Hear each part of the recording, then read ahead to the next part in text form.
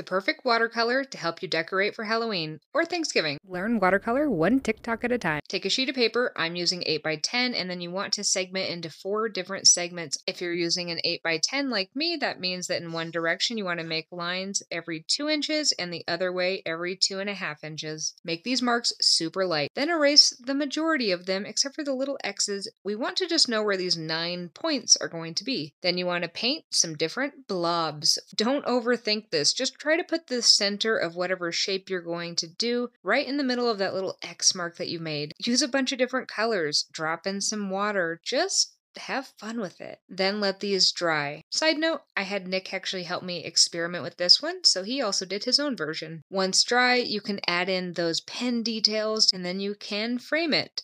Here is Nick's, kind of reminds me of the Peanuts or Charles Schulz. And here's mine.